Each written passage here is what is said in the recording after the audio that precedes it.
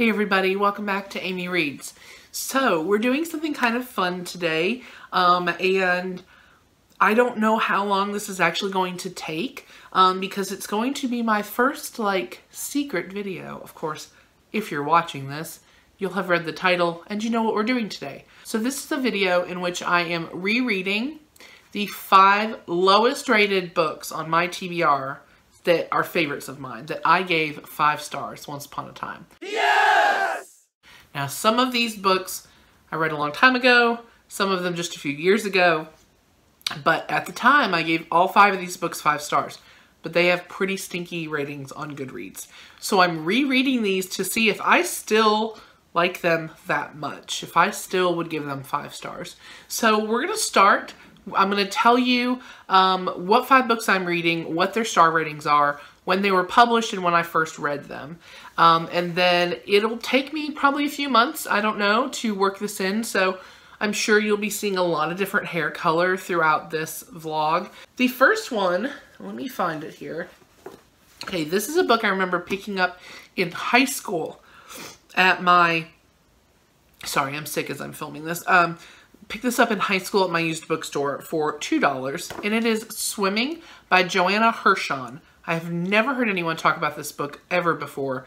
I remember being so profoundly moved by this book at the time. Um, something about a young girl whose brother goes missing or maybe he dies and then later in life she tries to figure out what happened and the brother's girlfriend at the time is involved.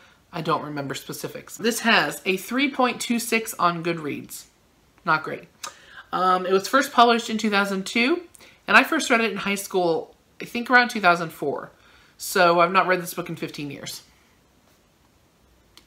Let's see if I still like it. Okay, the next one is actually Jane Unlimited by Kristin Cashore, but I am not rereading that because I just read it like a month ago, and I love it. Uh, it has a 3.37 on Goodreads, so not stellar, but I love it. So not going to be rereading that one. The next one is a contemporary that I don't actually hear anybody talk about. I remember reading this um, when I first started, it's around the time that I first started watching BookTube, but that is Scarlett Epstein Hates It Here by Anna Breslaw. Like I said, I've never heard anybody else talk about this. I got it from the library. I thought it was really fun. It's really short. Um, I remember the main character really loving Seinfeld and writing fan fiction. Why I gave this five stars, I don't know because I don't remember a ton about it. But um, this has a 3 point, sorry, I'm looking over to the side. This has a 3.48 on Goodreads. It was published in 2016 and I read it in 2016. So this is actually the most recent read on this list. The next one I don't actually have a copy of because a friend of mine borrowed it from me. That is Someday, Someday Maybe by Lauren Graham. This is Lauren Graham's first and to this day only um, like novel and it's about a woman in the 1990s very similar to herself just trying to become an actress in New York City. Um, I gave this five stars at the time. Probably a lot of that is because I just love Lauren Graham and I felt like it very much had her voice. But this has a 3.50 on Goodreads and it was published in 2013 and I read it in 2014. Next is Landline by Rainbow Rowell. Um, this has a 3.55 on Goodreads, originally published, let's see, in 2014 and I read it at the very beginning of 2015. I really love this Rainbow Rowell book, but obviously I gave it five stars when I read it four years ago. But um, this is about a couple, Georgie and her husband Neil, and uh, they're like in their 30s. They have two kids. Georgie's a real workaholic, and this is set around Christmas time. And Neil takes his, their children to like his family in the Midwest to for Christmas break, and Georgie decides to stay and do work. And they're kind of struggling in their marriage because of stuff like that.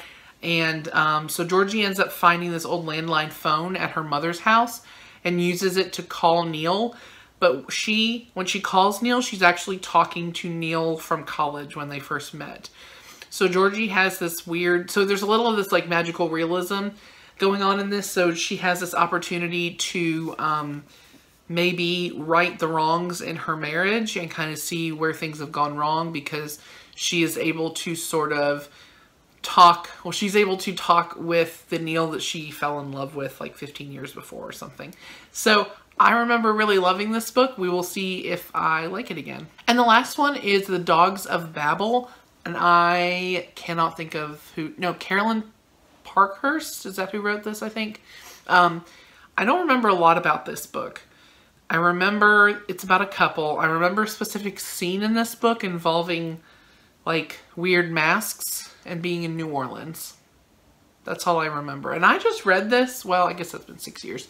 I read this six years ago in 2013. This was originally published in 2004. Yeah, 2004. And it has a 3.56 on Goodreads. This is probably going to be a pretty long vlog. Uh, so tuck in and get yourself a little snack and uh, watch my hair change colors because this will probably take me a few months. But um, yeah, anyways, I'm going to reread these five books and see if they suck or if I still love them.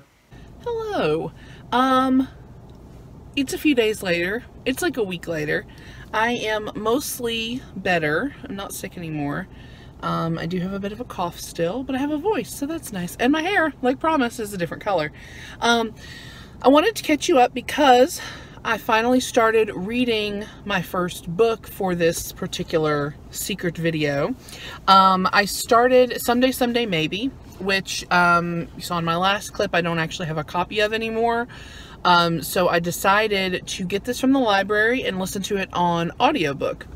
And at first I was like, maybe I shouldn't listen to it on audiobook because I feel like the fact that it's narrated by Lauren Graham will make me automatically like want to give it five stars because I just love her so much. But I decided to listen to it on audiobook. Um, and so I started it yesterday. I meant to update you yesterday. It just didn't happen. I started it yesterday and um, I am exactly 25% through. I'm like a little over two hours into it. Um, and I like it. Uh, it's it's been five years since I've read this book, so I didn't remember a ton of specifics. I remembered that the main character's name was Franny, which I think is very cute, um, and that it has that kind of classic Lauren Graham wittiness to it, um, and it definitely does. It, I like it a lot. So um, I don't know yet if it will continue to be a five star read, but that's what I've got. And then I also got Dogs of Babel by Carolyn Parkhurst from the library in ebook form. So I will probably start on that soon as well because the other three I have in physical form. And I'm really weird. Like I like to be reading, if I'm going to, I do like to read multiple things at once, or I don't like to necessarily as much as I just do in order to get more things read. Um, but I like to have one physical, one ebook, one audiobook, and not more than one of one of those. Like I don't like to be, I don't like to have two um, physical books going on at the same time. And I don't know why, I just am the way I am. Uh, but anyway, I just wanted to give you a short little update on what I am currently reading and how I'm feeling about it. So as I get farther into this audiobook, I'll let you know. And if I start Dogs of Babel, I will let you know. So anyway, um, talk to you later. So it is a few days later um, I meant to update you all, but I did not. Um, but I just finished Someday Someday Maybe on audiobook. Um, and I definitely have changed my rating. It's not a five-star read for me. Um, I think I would give it a three. If I were reading this book for the first time now, um, I think I'd give it a three. And I think that while I love Lauren Graham, and I do feel like the parts she does best are like the that very kind of Lorelai Gilmore witty, you know, talking a lot sort of thing, which I realize is a character, but also Lauren Graham is a, is admittedly a lot like that. Um, I felt like it was otherwise just a kind of so-so chick lit book. Um, so if you don't know, this is about a woman named Franny who it's uh, 1995. She is a struggling actress in New York City and she has given herself a deadline of three years to, you know, succeed, whatever, excuse me, whatever she succeed, whatever she deems as successful. That's what I'm trying to say. Um, and she's like six months away from that deadline and, you know, nothing's happened. So, um, I wasn't crazy about the romance in this book. It felt a little underdeveloped. Um, I would have liked to have seen more from that. And I don't know, like I realize it's 1995 in the book, but there's a lot of like diet talk and just it's so it's so hard now because I just pick up on that stuff constantly and um, not that I can't enjoy something that has diet talk in it and also you know this was 25 years ago so first book down I would not give it five stars today and I, I am not giving it five stars I would give it three stars um, I still enjoyed it uh, the experience of listening to it was great um, I would recommend it still to people who want a um, you know, kind of a fluffy chick lit read. It's not fantastic or phenomenal, but it's worth reading. Uh, but yeah, I would give it three stars. Moving on. Um, like I said in my last clip, I was going to start reading Dogs of Babel because I have that um, out from the library in ebook, and I still have it out from the library in ebook, but I've not started it yet. So that is going to be my next book that I start. I will catch up with you. I'm just being really rambly. I will catch up with you when I start Dogs of Babel. I am reading like three other books right now that aren't for this challenge. So, um, but I'm not reading an ebook, so this will be my ebook that I'm reading. Uh, so anyway, I will film another clip once I have started with Dogs of Babel. Why are you such a turd? Are you trying to get under the covers? Junie, why are you so beautiful? Hello. Uh, it's me, obviously. There's Scott back there. Say hi, Scott. Hello. I won't show him since he is half naked. Um, anyways, I just wanted to update you. I did start uh, Dogs of Babel uh, yesterday, I guess. Uh, like I said, I'm reading it in ebook from the library, and uh, I am only like 5 or 6% in. And I really did not remember much about this book. Um, the very opening of the book is this guy's wife falls slash jumps out of their apple tree in their backyard and dies. And their dog was the only one that was like there at the time. And so he's a linguist a linguistics professor. And so he decides that he is going to see if he can get his dog to communicate with him what happened to his wife that's what this book is about I did not remember that so anyways um I don't hate the way it's written so far, but like I said, I'm only like 5 or 6% in. It's a pretty short book. I think it's only 260 something pages. So I should have it done relatively soon, but I'm also reading several other things, so I don't know. Hello, so I realize this is kind of an awkward angle, but I have you resting on my laptop. Um, I don't feel like holding the phone. So anyway, um, just wanted to update you on Dogs of Babel. Okay, so I'm on page 84 of 263. So somewhere between a quarter and halfway through.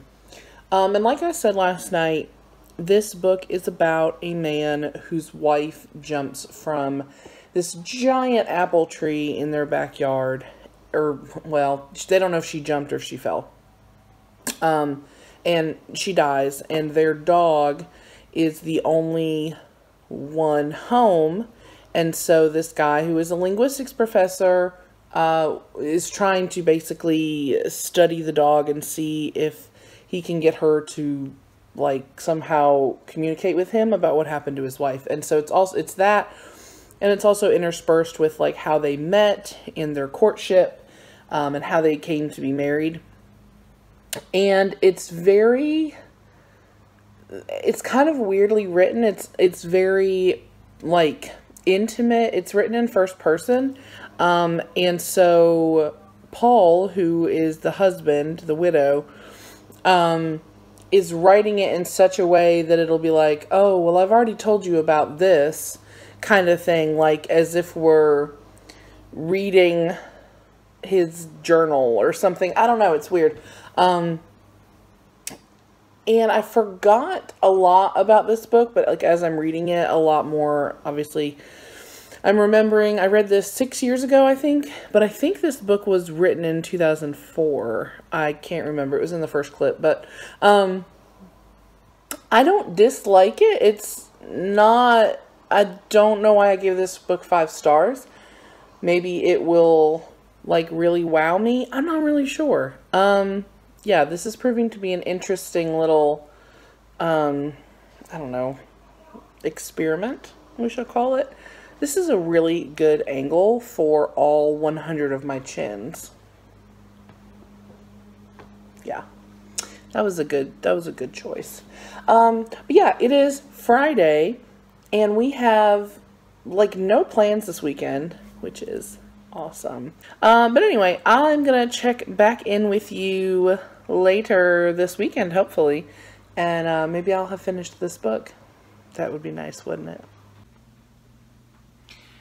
I need you to know that I just filmed this entire clip. And I didn't have my fucking camera on. I wasn't filming. I wasn't recording.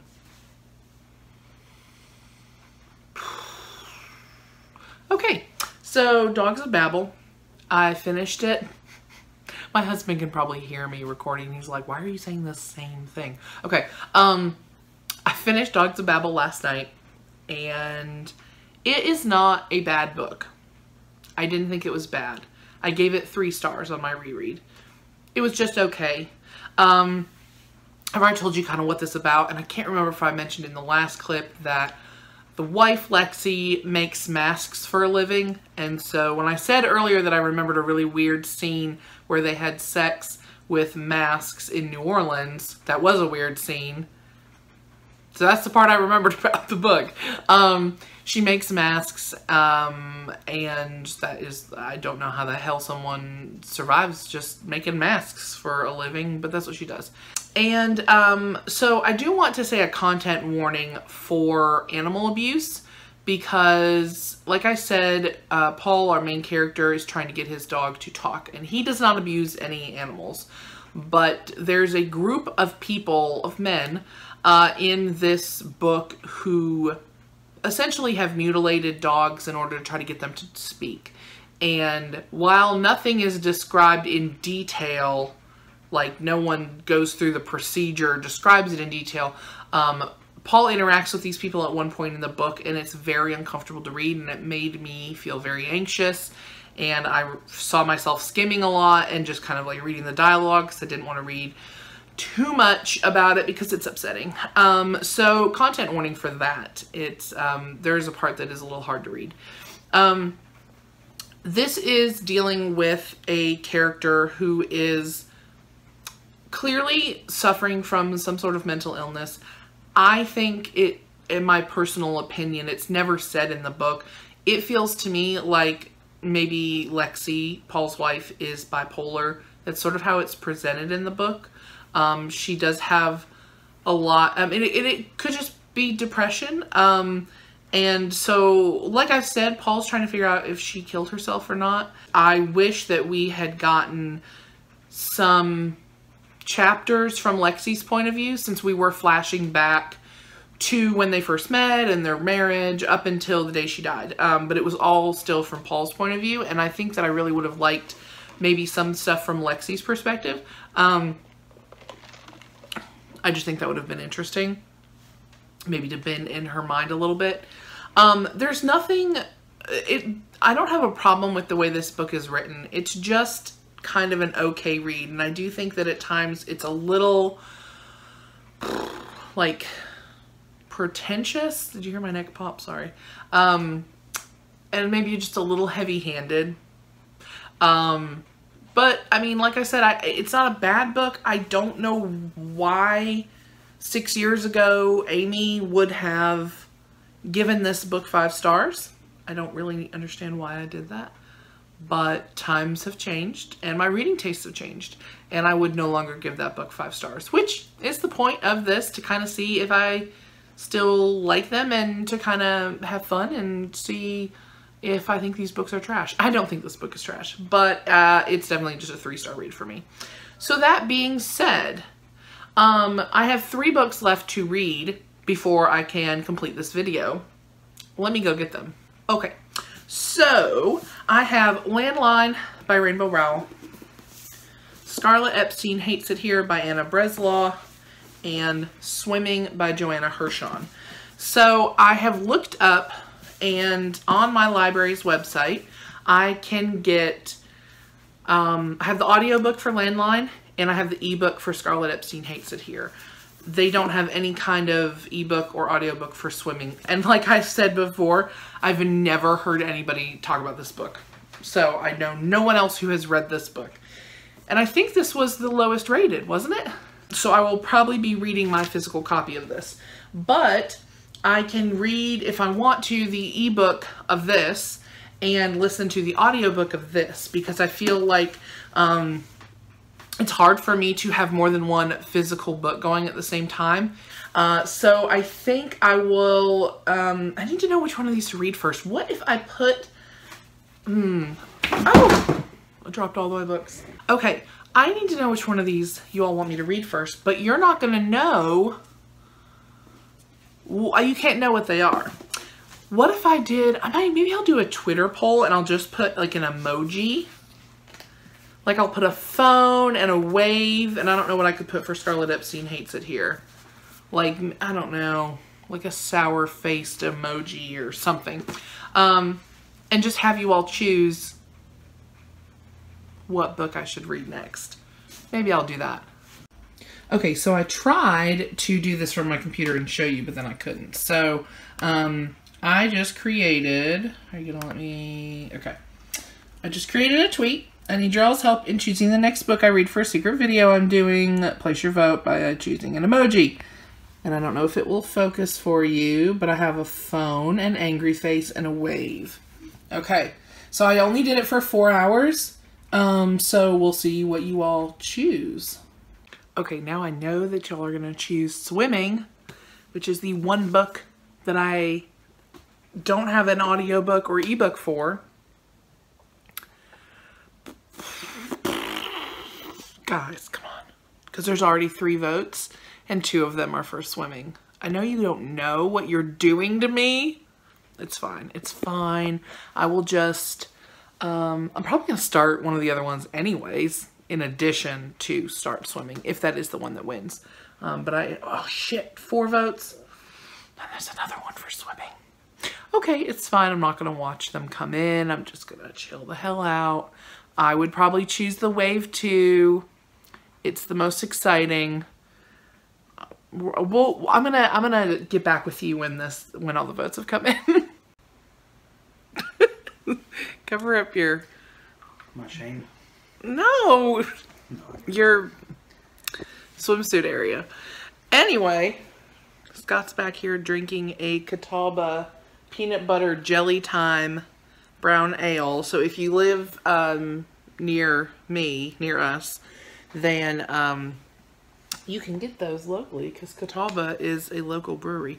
Anyway, that's not why I'm checking in, but that is what Scott is drinking. Um, we are about to watch the Game of Thrones finale, or premiere, which is also not why I'm checking in. Guess what won the poll? Swimming. So I guess that's what I'm reading next. Um, I am actually, that was, wait, that's so close on my face. Um, I'm actually reading The Last Time We Say Goodbye by Cynthia Hand right now, um, which is not part of this video. And I am that far through it, so I'm not quite halfway. Um, and so that's why I really wanted to finish this before I start swimming, so maybe I'll do that. Um, but I'll try to get this finished in like the next day or two, and then I can start swimming real quick and then start um, Landline and or Scarlett Epstein Hates It Here. I knew swimming was going to win. All right, anyways, I'm going to check back in um, when I start swimming, I guess. Okay, bye. Hello, it is Monday. Um, we just talked last night before Game of Thrones, but I finished the physical book that I was reading I think I showed you all last night I was reading The Last Time We Say Goodbye by Cynthia Hand. Um, if you hear things in the background, Scott is making dinner. Sorry. You're fine. Um, so I thought that I would share with you all that I am going to start swimming by Joanna Hershon because that's what you all voted that I do. Look at how small this font is. Uh, I don't know why I'm acting like this. Like I gave this book five stars. That's the. I really enjoyed this book. Now, um, okay. Let me read to you a. I guess I'll read to you just like a blurb on the back because it doesn't have like an actual. Okay. Two brothers, one girlfriend, one fateful night at a New Hampshire pond where jealousy rages out of control, and suddenly the life of eight year old Lila Wheeler is forever changed. Living in New York a decade later, Lila, desperate to know what really happened that night, begins her search for the terrible truth and the lost brother who harbors it. Exquisitely sexual, Hershon's first novel heralds the arrival of a writer to watch. I don't remember it being exquisitely sexual, although who knows. Um, so anyway, we've tilted a little bit. I was I have a makeshift um, situation going on with my phone. Anyway, so I'm gonna start this here in a minute. This is how many pages? Oh, there's like a book club thing in the back. 356 pages. Ooh. Okay, so I'm going to start this tonight, and then to be honest, I am probably going to start either Landline on audiobook tomorrow or Scarlett Epstein Hates It Here on ebook tomorrow. Um, just so that I can be kind of doubling up because I would like to get this done by the end of the month um, so that I can talk about it before my monthly wrap up where I will ruin everything by talking about these books. So, excuse me. I'm going to start reading this and um, I'll check back in later.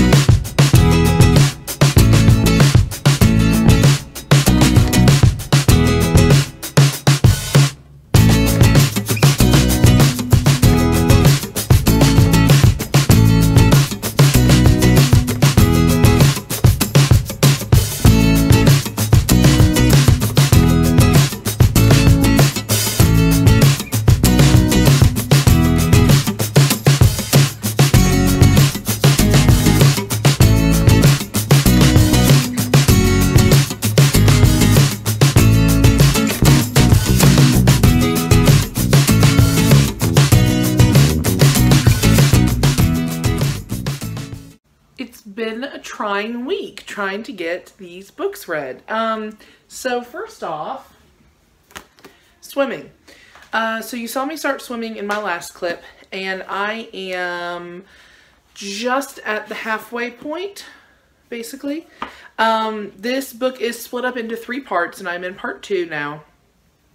It is kind of a slog to get through. Um, the writing is it's very overwritten. And a lot of times I feel like in an attempt to make it seem um, flowery and meaningful, it ends up sounding pretentious and overwritten. Um, so, don't know what I thought about this one. I, I still enjoy the story. Um, this is, I'm, I'm not super sure. It's not exactly a mystery because pretty much everything is laid out for you in the first part, which it takes so long to get to the point. I mean, the first part's like 130 something pages and it's just like 24 hours where it's just, it's a lot. Um, so basically, I can't remember if I said this in the last clip or not. Um, you have a family where you've got two way older brothers and um, a younger sibling, Lila, who is like eight. And the brothers are like 19, 20. And Aaron, the oldest brother, brings his girlfriend home for the weekend, Suzanne. And it's clear that Suzanne and Jack, the other brother, have kind of an attraction. They end up fooling around. Aaron finds out, gets upset, and some an altercation happens and one of the brothers dies. Um, and that's not exactly a spoiler. Um, it just kind of is the setup. But it does take, you know something bad is going to happen. You know that that is going to happen. Um, and I won't tell you who dies, but um, so then it's not Lila. and uh, so then you flash forward, part two is like 10 years later, and Lila is trying to kind of put pieces together because she saw some things happen, and one of her brothers is dead, and the other one just sort of fled, and um, she's not seen him since either, so she's trying to find him. Um, the the story itself, like I said, is is good, but God, the writing, man, the writing is hard to get through. So I'm at the halfway point and I am having to like force myself to pick it up. So that's not great. Um, but then I also started uh, Scarlett Epstein Hates It Here. I started it on ebook after I'd already gotten quite a bit of swimming done. And I'm about a quarter of the way through this in ebook. Um, not super sure think I am somewhere around the 40 to 50 page mark. No. Yeah. Um, anyways, it's funny. I know why I liked it. It's laugh out loud. Um, it is about a girl who her favorite TV show ever, which is a little bit kind of Vampire Diaries-y, um, ends up getting canceled and she is beside herself. And so her and all of her like fan fiction, people that she writes fan fiction with, um, decide they're going to just come up with some new fan fiction. And so she starts writing about the people at her school and she doesn't even change their names, which I'm like, okay. Um, and, you know, I think they're going to find out about it and be upset. So it is really funny. She has a neighbor who is like this sassy woman in her 70s who smokes a ton of weed. Um, and she is really fun. Her name is Ruth. Um, so she's a good character. But yeah, I don't know yet about this one. Like I said, I'm only the quarter of the way through. I don't know that this will be a five-star read, but I do think so far, with the exception of the long fanfic chapters, because I could not care less, I think I'm actually enjoying this probably the most out of any of the ones I've been rereading, so there's that. Um, so yeah, that is my update for now. Um, I've got my light out. Obviously, I'm getting ready to film, um, probably, maybe, I don't know. I was just going to film this clip. It is really rainy and gross out right now. I went this morning and got my nails done. And they look like, there's my thumbs, they're orange. They look like little glam Easter eggs. Why did I do this? You can't see my nails. uh, so anyway, um, yeah, went for like a glam rainbow look today.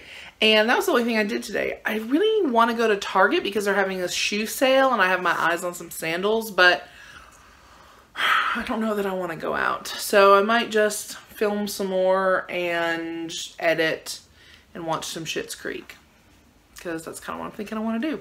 What I really need to do is read. Okay, I will update you when I've read some more. Whenever that will be. Why am I doing weird stuff with my hands? Just cut off the clip, Aimee. Hello, it is Monday, April 22nd. Um, so it's been a couple days since I have updated you.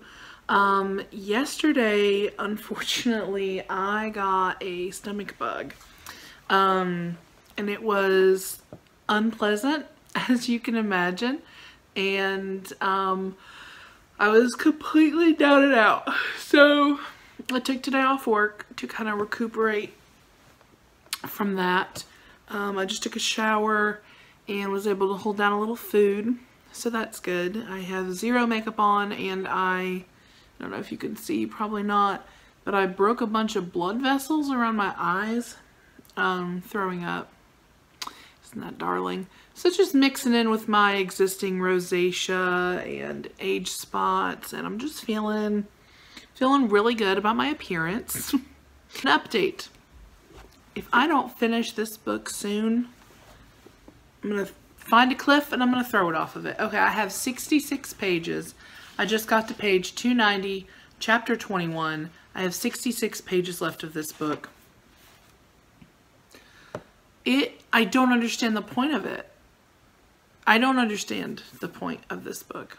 Like, and the longer it takes me to read it, the angrier I get about it. Like, I'm just like, why?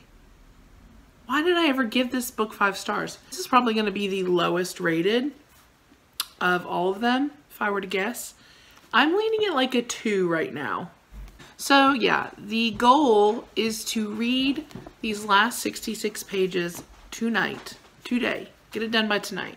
Um, I'm still reading Scarlett Epstein Hates It Here. I'm only about 33% done with that, but I'm reading it on ebook. And then when I finish this, I'm going to start Landline. I have Landline on audio and I also have it in physical, so I might go back and forth or just whatever is easiest. That is the plan. So God willing, I'm going to finish this book tonight. When I update you next, I'll be done with it. I finally finished it. Now, June, what do you think? I think June wants to be a part of the video. She doesn't. She hates being held. She's not the kind of cat that you hold. Mommy's gonna do it anyway. Mommy's gonna do it anyway. What do you think about that? Okay, go on. Okay, um, oh my god, I finally finished it. I'm starting to feel kind of sick again. Like I kind of thought that I was like over this little stomach bug. Or I'm kind of starting to feel sick again. Anyway, maybe it's just because I read that book. and I was just so angry. Okay. Swimming. Um, like I've said in clips prior, I don't know what it was about this book that made me like it so much when I read it 15 years ago. It's not a good book. I don't recommend you read it. It's not a one star. It's a two. It's a two. I rarely give books one star. I think there's only been two or three books I've actually ever given one star. Um, but this is not a good book. Um, the whole, there's no mystery to it because you know exactly what's happened. It's basically just about Lila, the younger sister, finding out the truth that you already know. Um, and it is so overwritten and just so ridiculous. Like there's a sentence in here and it says, it's like, the door was painted white and the room was also white.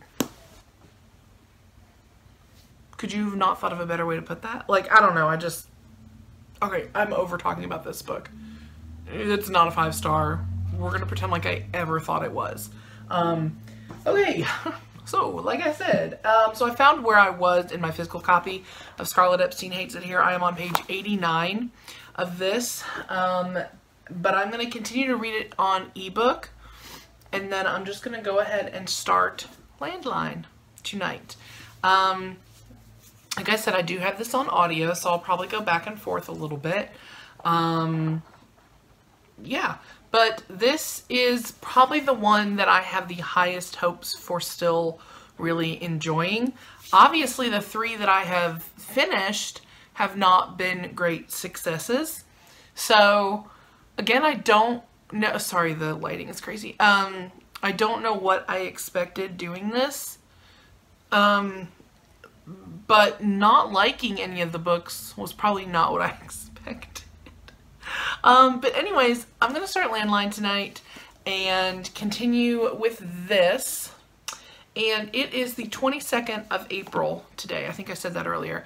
So my goal is to have this done by the end of the month um, so that I can put my put this this vlog up before uh, my wrap up so that I don't like spoil everything for everybody. I'm sure everyone's very excited about the secret video that nobody knows about. Um, but anyways, so I will get back with you when I am a little ways into Landline to let you know how I'm feeling about it. Um, and my, I've not read a ton of this in the last few days, and my thoughts on it haven't changed a, a lot, with the exception of like, I think I said before, there's like long chapters of fan fiction that I do not care about at all. Um, but I kind of this is my most recent read. I think this was read in 2016. And if I can remember, I think I remember thinking this book was all right, pretty witty, and then something happens at the end that's really like moving, and I think that like bumped it to a five star for me. Also, I think about the time in which I was reading this, and like if it made me emotional, I was like, it's a five star, which is not always true. So, um, I don't dislike this book, but it's not reading as a five star to me as of right now. So, anyways, I'll catch back with you later um, once I have moved on. But so that's three down, two to go. I am back. Uh, same, similar view a couple days later. It is now Wednesday the 24th, and uh, I have made some headway on both Landline and Scarlett Epstein Hates It Here. So this is probably going to be one of my last clips, to which you probably say, thank God, because this vlog is long. Um, okay, so I'm currently per my ebook, I'm about 70% through this. Um, so, I don't know. Oh, yeah, I'm like around the 200 page mark of 282. So, um, Scarlett is a very unlikable character. She's very bitter and kind of mean, and I can see why people wouldn't like her. Um, if I remember, she does have some character growth and some like I don't know if redemption's necessarily necessary, necessarily necessary. Woo. Um, but she she does grow and it's quippy. It's funny, but it does feel like it's trying far too hard to be quippy and funny. And and I don't know where the line is where with trying too hard and just feeling natural. I just know it when I feel it, when I read it. Um, so, no, this is not reading as a five star to me, but I don't hate it. It's probably going to be more of a three. Again, I, and if you remember, I said kind of the first time that I wasn't like overly impressed with this book till the end. So maybe something will happen in the end and, and it'll change my mind. So I might actually finish this one tonight. Um, and I reached the halfway mark last night in Landline. Um, this one is a breeze to get through, super easy to read. I read the first quarter one night and then the second quarter last night. So you know, hopefully I'll have this done then in two days, maybe three if I dedicate some time to reading Scarlett Epstein tonight. Um, I still really like Landline, which thank God there's a book in this in this stack that I still might give five stars to because I was beginning to think that maybe I wasn't going to give five stars to any of them and then I would just scrap this whole thing and be like, JK, I used to have terrible taste. Um, maybe that is the point of the, I don't think there is a point of this video other than it's just kind of fun to see what I think about books I used to give five stars to. Um, that are, mm, I wouldn't say universally panned, but certainly lower rated than I gave them. Um, but yeah, I still really love this story. Sorry about the light on this. Um, I love this cover. I like Rainbow Rowell a lot. I don't really care for Carry On because I didn't I'm kind of in that camp of people that didn't um, really care for the fan fiction part of Fangirl. Man, she can write dialogue that is so effortless, effortlessly witty. So if you're comparing these two, this feels like you're trying too hard to put a bunch of pop culture references in. And and yes, I do still like laugh out loud sometimes reading this book, whereas this one feels a little more like it, it flows a little better. I'm not saying they're totally opposites, but I do feel like this flows a, a bit better. Um, but anyway, as of right now at the halfway point, I would still give this five stars. I don't know if I'll change my mind when I'm done reading it. We shall see. Hey, so it is Sunday and I finished all of the books. Um, you might notice, sorry, I have no makeup on, um, some different stuff. I've moved my locker up here behind me. Um, I will give you all a library tour once I get the rest of my room in order. Um, so the shelves behind me, um, I've done a tour of those but uh, the rest of my library has kind of been a mess and I worked for several hours today um, kind of getting all that in order. So anyway, that's neither here nor there, but you'll notice a little bit of a different background. So I want to talk about the last two books that I finished for this little project. Um, I finished both of these two days ago, I think. Um, so the first one that I finished was Scarlett Epstein Hates It Here by Anna Breslaw. I ended up giving this one a three on reread. Um, like I said in clips before, it was funny. Um, I didn't dislike it. Three, again, is a pretty average rating. Um, but this needed way more depth if it wanted me to feel how I think I was supposed to feel. Um, I remember why I gave this five stars now. There is something that happens that is spoilery in this book. And at the time, I was very sensitive to this particular thing. And so it made me very emotional. And I think that I just sort of gave it five stars because it made me emotional. So I think that was a good reason at the time maybe to give it five stars, but um, I definitely don't agree with that rating now. So I think that if you want a kind of edgy, funny, uh, YA contemporary. I mean, I recommend this one. I don't think this is a bad book. And I am happy to report that I still give Landline five stars. Can you believe it? One of these books, I still gave five stars. Um, I'm going to hold it up over here because it's more comfortable. Uh, okay, this is not a perfect book. This has sort of the similar, like, edginess um, and certain things rub me the wrong way, like just little things here and there. Um, but it's just not enough for me not to love it. And, and I do really love it. I love Georgie and Neil.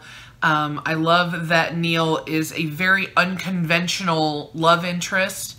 Um, and I just, I don't know, there's something very charming and very easy about Rainbow Rowell's writing. And if you've ever read anything by her, I think you could probably agree. Um, and I don't, I kind of looked at some of the low ratings on this book and I just don't get it. Like somebody said they were like, could you have a worse love interest? Neil is fat and short and unhappy and all and I was like, excuse me. Um, so I don't know why people hate that, or not hate this book, but I don't know why this is so low, like rated so low, because I really still loved this. Um, and like I said, it's not a perfect book, and for me, I don't rate books on how perfect they are or how politically correct they are. If a book is five stars for me, it's because I loved it personally. Um, and I can love things that are, quote, problematic or have different elements in it that aren't great. And I will tell you about those, but it doesn't, it isn't necessarily always why I like or dislike a book, if that makes sense. Uh, so that is it. Um, so I don't have my other, I only have one other book. The other two I don't own. But um, I was going to show you all five of them, but I don't have them. Uh, that is it for this very long vlog. I hope that you have stuck around this long. If you have, congratulations. You're amazing. Um, and I hope that you enjoyed this. Let me know if you like this kind of content. Um, I know some booktubers do this sort of thing. I know Lala does this sort of thing a lot. I love watching her videos like that. Like, I'm like, give me a 45 minute Lala video where she just reads a bunch of weird books. But, I mean, I don't have that kind of following and I'm not beloved like her, so I would understand if you were like, where does she get off making a 45 minute long video? But let me know uh, if you enjoy this kind of content, if you want to see more of it. I do have plans for some other stuff like this. So hopefully you all enjoy it. Um, yeah, so if you liked this, please give it a thumbs up. Hit subscribe if you want to see more content from me. And uh, yeah, as always, I will be back soon with more book talk. Bye!